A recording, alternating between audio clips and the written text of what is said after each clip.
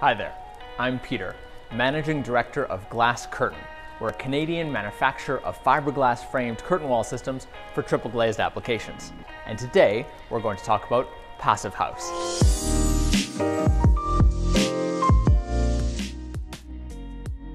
So, what is Passive House? Well, the Passive House that we know today is largely thought to be a German standard. But was it always so? What you might not be able to tell from this building built here in 1977 is that it's actually in Canada. This is the Saskatchewan Conservation House located near Regina in Manitoba, right in the middle of the country. 1977 was a time of energy conservation. It was on the heels of the oil crisis of the early 70s.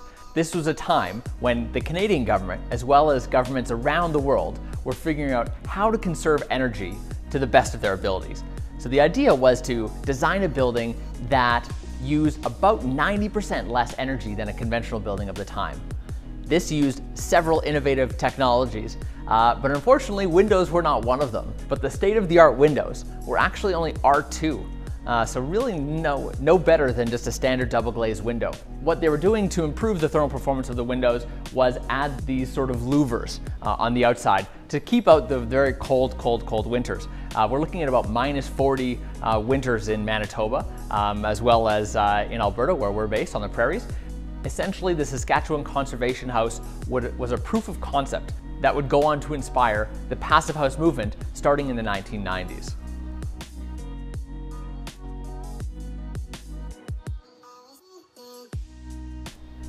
Unfortunately, the Saskatchewan Conservation House wasn't what you would call classically beautiful. Uh, and around that same time, in the, the middle part of the last century, uh, we were seeing buildings like Mies van der Rohe's Neue Nationale Galerie in Berlin, um, and this was really setting the high standard for high modernism. Of course, beautiful buildings like this didn't exactly prioritize energy conservation, but that doesn't stop us from considering them beautiful today. And so, is there a way for us to have our cake and eat it too? This is a fundamental question that the Passive House standard raises and brings to the fore more clearly than ever. This is a conversation then that brings us naturally enough to GlasCurtain's very first project, 2011, the Cambridge Loft Penthouse in Edmonton, Alberta, Canada. This was and is an entirely passively ventilated residence. Previously, this was a mechanical shed on the 19th floor of a building in, in downtown. And what you can see is that essentially all of the corrugated steel that was previously used to enclose the building has been replaced with GlasCurtain, fiberglass framed, triple glazed curtain wall. And would you believe that just from the radiant heat from the rest of the building, this suite is entirely comfortable up to about minus 20 at which point there are a couple of fireplaces that are used to keep a warm, comfortable environment on those very cold Edmonton days. And what a passive house this is. Designed by Manasc Isaac Architects in Edmonton, this stunning uh, showcase design, uh, award-winning design actually as a matter of fact, um, is none less than uh, absolutely beautiful. And really this is an example of having our cake and eating it too, where we have an ultra high performance envelope, about R7 uh, fiberglass frame curtain wall with triple glazing, uh, and an absolutely stunning, beautiful passive design. As there is no heating bill for this uh, beautiful suite, the only costs are electricity and water, and few, a couple of solar panels oriented on the south side of the building are actually sufficient to make up uh, enough electricity to trade with the building uh, for the water costs, essentially making this uh, a net zero building as well.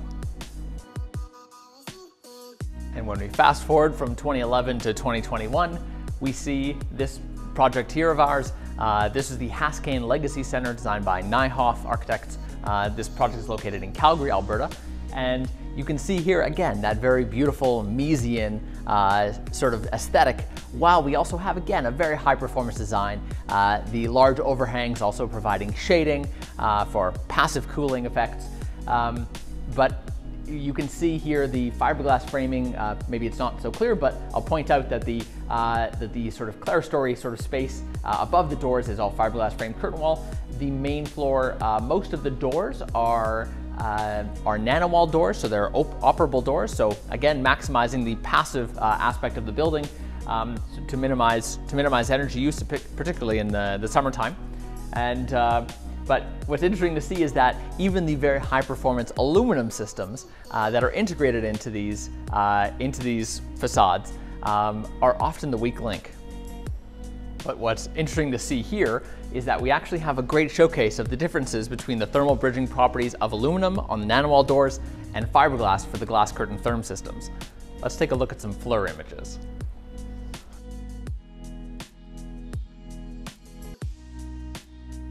Here's another view of the uh, FLIR imaging, and you can see here that the, again, the fiberglass framed products in the, uh, the sort of upper area uh, is really uh, very thermally consistent um, compared to the large hotspots from the aluminum frame products um, that are operable there. Again, not something we would see with Passive House, but still, this is state of the art by conventional North American standards. This is an incredible building. But what we're about to see is just how next level the Passive House standard is. Let's dig into some of those differences now. What we have here uh, is an example of not exactly a Passive House certificate, but the results of Passive House uh, modeling uh, an attempted certification. So we took our, uh, our standard mullion, uh, our standard fiberglass Therm, Therm 134 mullion. Uh, we took that to the Passive House Institute in 2017. We thought, oh, we've got the best curtain wall in North America. How hard could it be to, to pass this German standard? Um, turns out it was a little trickier than we uh, initially anticipated, uh, but that's okay. It was a great, uh, great object lesson, a great learning lesson. And uh, what we found was that um, according to, you know, when, when you limit the glass performance, which is, you know, the, the really standard way to get a better overall uh, sort of envelope performance is to improve glass performance.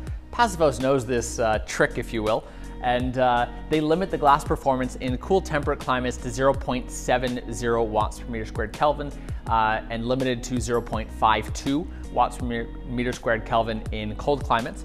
And so we thought we'd, you know, our system right out of the box would be good enough for the cool temperate climate. We tested it with the, uh, the limited glazing uh, 0.7 and uh, the overall system was 0.93 watts per meter squared Kelvin. Uh, this was uh, not quite up to the standard. The standard for cool temperate climate is 0.8.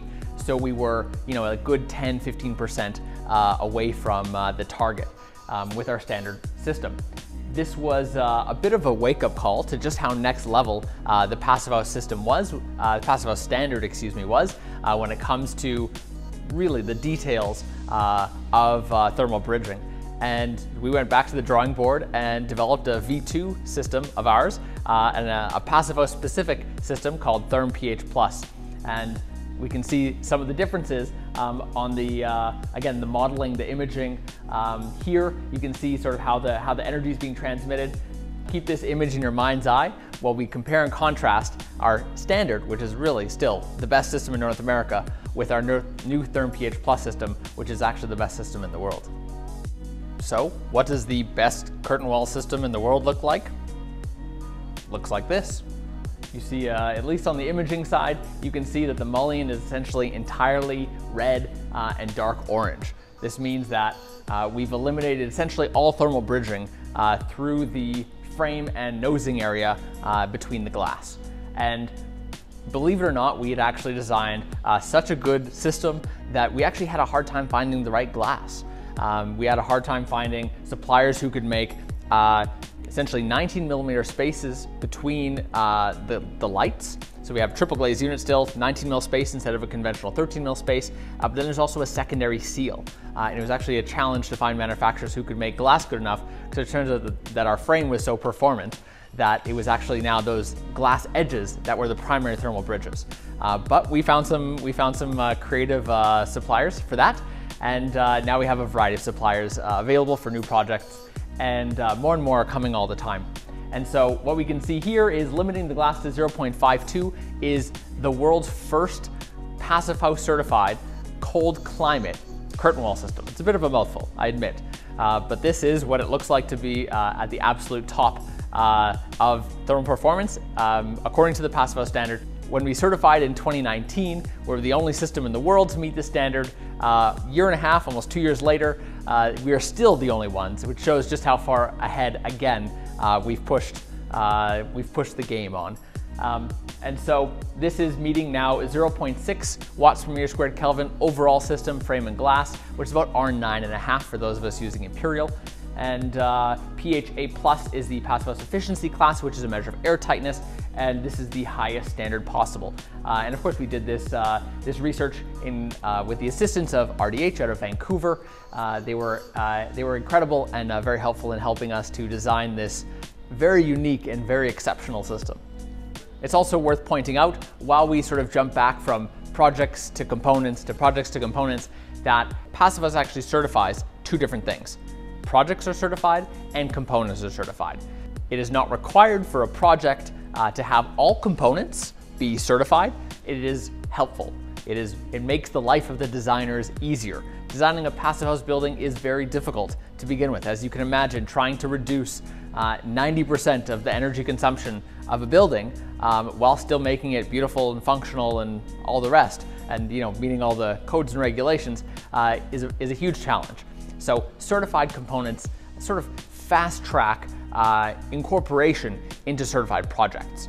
And that's really why you would want to certify a product, and that's exactly why we did exactly that. And in the next 12 to 18 months, we will see this Therm PH Plus system, this certified cold climate system, uh, be used um, here in Canada and uh, probably around the world before we know it.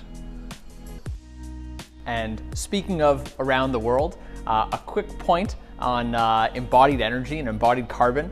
Um, one thing that the Passive House uh, standard unfortunately doesn't do right now is consider the embodied impact of uh, the components that are in these certified projects. Um, this is something that we expect they will adopt as the LEED standard, eventually adopted uh, life cycle assessments as well. Um, but it's particularly of note in the Passive House standard because uh, in the Passive House sort of world, because there's so much insulation. There's so much insulation that a lot of it uh, can actually have higher embodied, well, a lot of it does have higher embodied carbon uh, than conventional, uh, conventional buildings. So just because we're designing uh, buildings that are consuming less energy, uh, it doesn't mean that uh, they're not requiring more energy to produce. So on balance, what is the what is the trade-off? You know, GlasCurtain is mostly using fiberglass batt, of course, um, and EPS um, for that additional bit of insulation in the nosing. Um, both these products have relatively low uh, embodied carbon. Um, and still fiberglass has less than half of the embodied carbon of aluminum systems. So our systems overall still have substantially less embodied carbon than uh, conventional aluminum systems. Um, and this is something we're very proud of and we feel is very important uh, for the passive house community to understand as well um, and to recognize and to really sort of carry going forward uh, that buildings are not just uh, you know, a moment in time, they are, uh, they are the result of a lot of other things that go into them. Um, the supply chains have to all be factored into these ultra high performance buildings, um, as does everything else. It, it's, a lot, it's a lot to digest sometimes, but it doesn't mean we shouldn't try. And of course, for more on that, we will link to our embodied carbon video uh, in the description below. And speaking of supply chains, uh, everything that GlasCurtain does is manufactured in Canada. This is uh, something that not only provides a lot of reliability in a world of tariffs and you know, border craziness, uh, but it also provides, uh, you know, we're also in a, a relatively central location um, within Canada, at least uh, between the sort of major hubs of, of uh, you know, Ontario and the Great Lakes area um, and Vancouver. Um, you can also see that uh, there aren't a lot of other manufacturers who are doing what we're doing. Um, but uh, you, the Saskatchewan Conservation House was not very far away either. It is just down here in southern Saskatchewan. Um, so it looks like a lot of good cold climate technology stuff uh, comes out of the comes out of the prairies. But of course, the House standard uh, isn't just about uh, Alberta, Saskatchewan, uh, Manitoba. Um, it's about the whole world. It's about trying to improve the whole world. And we see manufacturers from, you know, the four corners of the globe uh, producing fantastic new products that are all Passive certified. Uh, most of them are using aluminum framed materials. Some of them are using timber, some of them are using steel, uh, some of them are actually even using vinyl.